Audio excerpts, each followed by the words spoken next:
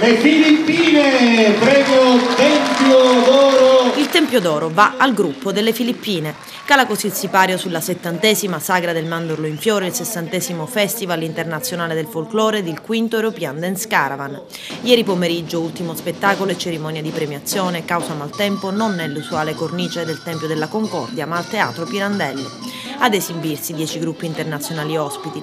Il primo premio come miglior costume è andato alla Thailandia, miglior danza alla Bulgaria, miglior musica all'Ucraina, che ha anche ricevuto il premio Ugo Recapriata assegnato dalla Sostampa, e alla Spagna premio Gigi Casesa per la migliore espressione artistica.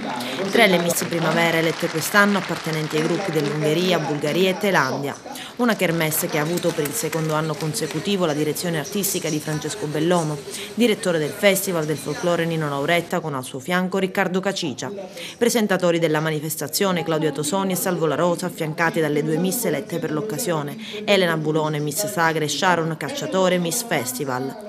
Una sagra voluta dal commissario straordinario del comune di Agrigento, Luciana Giammanco, finanziata con il 30% degli introiti dello sbigliettamento della Valle dei Templi e che ha ricevuto in extremis anche dei fondi da parte della Regione Sicilia. Edizione 2015 seguita ma segnata dal maltempo, causa pioggia il tripode dell'amicizia che segna l'inizio della manifestazione è stato acceso martedì scorso, non al Tempio della Concordia ma nell'atrio del Teatro Pirandello, causa maltempo la fiaccolata dell'amicizia è stata posticipata di un giorno, ovvero giovedì scorso. Si è svolta in tono minore la sfilata per le vie del centro ieri mattina. In pochi rappresentanti dei gruppi hanno sfidato la pioggia battente e pochi temerari sono andati in via Atenea per vederli.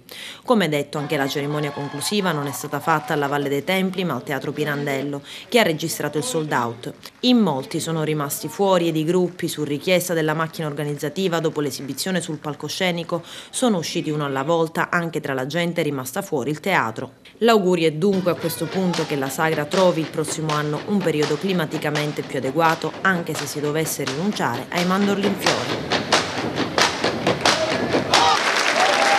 A proposito di sorrisi, eh? le Filippine, prego